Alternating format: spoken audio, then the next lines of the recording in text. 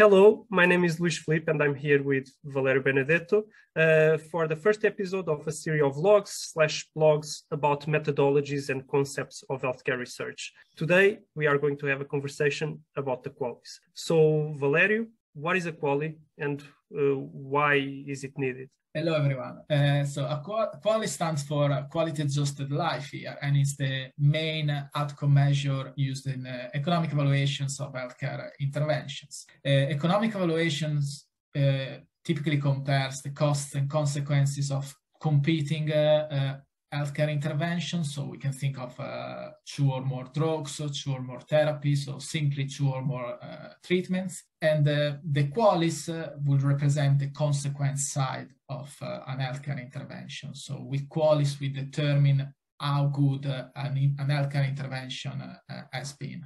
Okay, can you can you give an example using the QALYs on how it helps to to to make a decision? So if you have an intervention which yields more QALYs than another, then uh, that intervention might be deemed more effective than uh, the alternative intervention. Now, in an economic evaluation, we will also look at cost. So we need to determine the cost effectiveness of an intervention. So we are not only concerned about uh, how many QALYs we gain from, from a particular intervention, we want to know what is the cost per additionally additional QALY gained. And that, that's really the, the, the concept that it is that it is used for uh, for determining the cost effectiveness of intervention, cost per QALY gain. Okay, so uh, but now about measuring QALYs.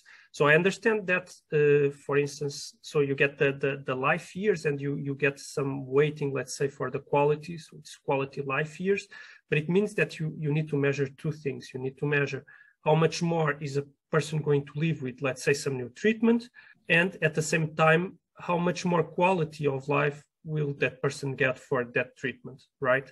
Uh, so it means, in my mind, that you need to measure two things: the amount of years and the amount of quality.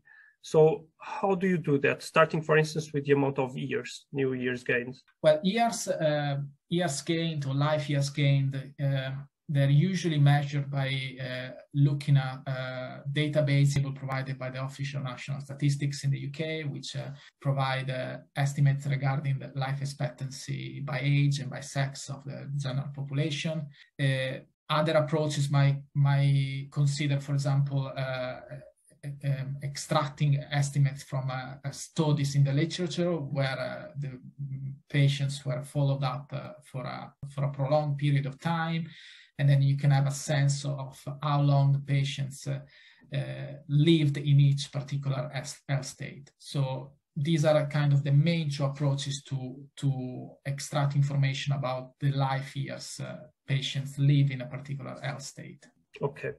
Then to the other part, what about quality of life? There are generic instruments which uh, researchers use to uh, describe the health states of uh, patients or individuals in general. Uh, in general, uh, one of these instruments is the EQ5D, for example, is a, quite common uh, questionnaires which is used in economic evaluation to determine the health and related quality of life of patients or individuals. That, the EQ5D is based on five dimensions. So there are five dimensions which try to capture the health related quality of life of uh, individuals, uh, things like mobility, uh, self-care, usually, usual activities, pain and discomfort, and uh, anxiety and depression. This is a generic instrument, so we are looking at generic dim dimensions uh, uh, related to the health-related quality of life of individuals. how do you go from that to the quality uh, yeah, life years? That's it. So what what happens usually is that uh, uh, patients uh, respond to this questionnaire. So you get uh, a particular uh, health state for a, specific patient. For example, we can see in in this slide here. So, for example we got a particular health state here, which is defined as 2, 3, 2, 4, 5. So the first number 2 means we a particular patient scored 2 for mobility. Okay, so we, can, we got a mobility with a score equal to mm-hmm. 2. That means that particular patient has slight problems with mobility, right? Mm-hmm. This means we got a description of the mobility of this particular patient But we're not only stopping at the description, we need to put a value on that particular uh, L state. In this case, we got a value of 0.058. So this is a utility value attached to uh, a mobility score of 2 mm-hmm. Now, as you can see, I put a 1 here. So you got 1 minus 0.058. Now, having slight problems in mobility means we got a de decrement in our uh, health. So we start from full health, which is equal to 1. Mm-hmm. we subtract a value of 0.058, uh, which is equivalent to say uh, I've got slight problems in mobility. So we got an utility mm. decrement. Which uh, is approximate, approximately 6%. So you got mm-hmm. approximately 6% loss on, your full health. That's it. Now, the question is, where am I taking this uh, 0.058 from? That's where the valuation come, comes in. So usually uh, utility weight values are taken from a, a survey of the general population where the general population are asked to value specific health states like this one, like for example, the health state 2, 3, 2, 4, 5. So not the patients, the, the general population. The general population, yeah. Okay. And in this case, you can look up this value in this value set. So you, you got the different values for different health states, and you know that a mobility equal to 2 is uh, is uh, reflected in a utility decrement of 0.058 and then you can carry on. So number 3 mm-hmm. you go on. Number three means having a, a, self-care equal to 3 mm-hmm. which means having moderate problems, which means uh, having a utility decrement of 0.08, again mm-hmm. subtracted from uh, uh, full health, mm-hmm. and so on and so on. So the number two means having um, uh, means scoring two in usual activities, slight problems in usual activities, an utility decrement on 0.05, and then the number four means hmm. scoring four in pain discomfort, which means having severe problems in pain discomfort. And you can see here there is a big utility decrement, uh, 0.276.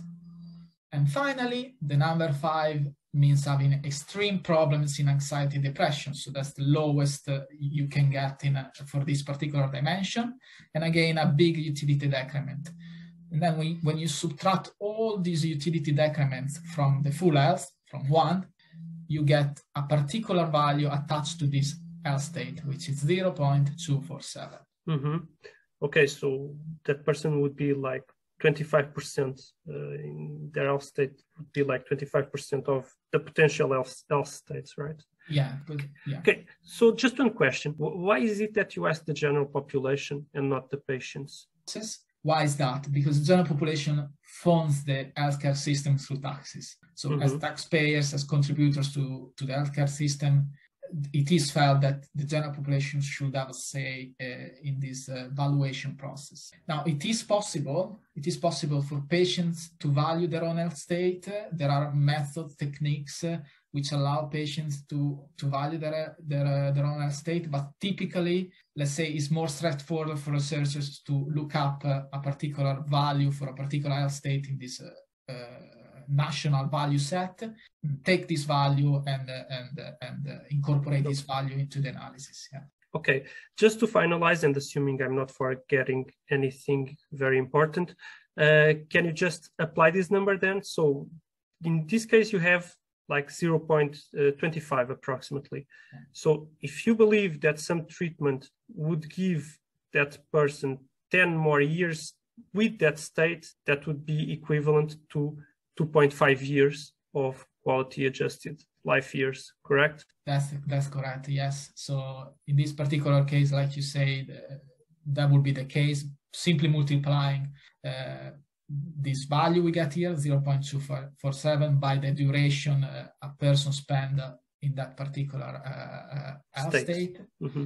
This is another example uh, where we got, for example, two interventions, one for the control group and one for the treatment group. So a typical randomized control trial uh, design. And for example, the individuals in the control group uh, might spend two years in a particular health state with a utility value of 0.6. That means they will uh, have 1.2 QALY. So it's simply a multiplication 0.6 mm-hmm. times 2. People in the treatment group, instead, they will spend four years in a particular health state, uh, which gives uh, 0.4 as a utility value, again 0.4 times 4, 1.6. Okay, and finally, if you have the cost of each treatment, you just divide the cost by that QALY, and then you get the cost per QALY, and then you so, have the number for a potential decision. Exactly. So that will that will involve building uh, another concept, which is the incremental cost effective cost effectiveness ratio. So uh, um, basically subtracting the cost from each intervention, dividing that by the QALYs from each intervention, and then you get uh, your incre incremental cost effectiveness ratio, which allow you to determine whether um, a, a new intervention might be cost effective. So Valerio, thank you for your explanation so far, but just in quick answer, why are the QALYs good? The QALYs are good and uh, are, uh, and are commonly used in, in economic research because they're they're really comparable across different areas. Like they are based on uh, generic instruments, so they're not based on condition-specific instruments. And uh, the way we calculate QALYs by relying on generic instruments like the EQ5D allow us to compare QALYs across different areas. That's one of the benefits of the QALYs. Also another benefit is that QALYs are also very intuitive. So as you as we have seen, uh, the steps to estimate QALYs, to calculate QALYs uh, uh, are pretty uh, uh, basic. Of course, there are sophisticated methods involved with that, but the intuition behind QALYs is, is, is, is, quite good. So comparability and intu intuitivity of QALYs uh, are two of the main advantages uh, of, of this outcome measure. Why is that that they might be bad in some cases? They might not be so appropriate in some cases because, for example, uh, QALYs rely on this uh, uh, concept that a QALY is the same regardless of, of, who loses or who gains that QALY. So you might have a very, very healthy person who gains one QALY and that QALY is uh, valued the same as a, a, a, person with poor health gaining a, a QALY.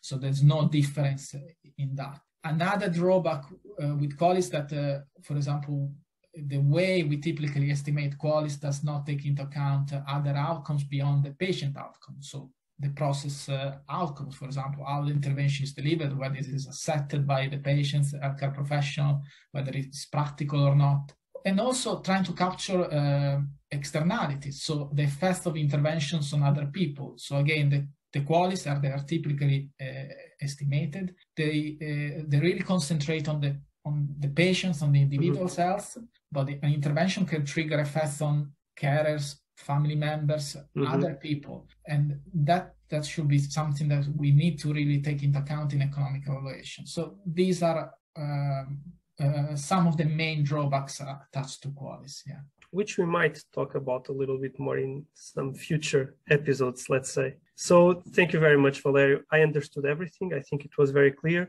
Uh, I hope the people that are watching this also understand. If they don't, they can always contact us through the MIDAS. Uh, so thank you. And thank you, Luis. We'll, we'll see each other in another episode. Okay. okay bye. Bye bye. Thank you.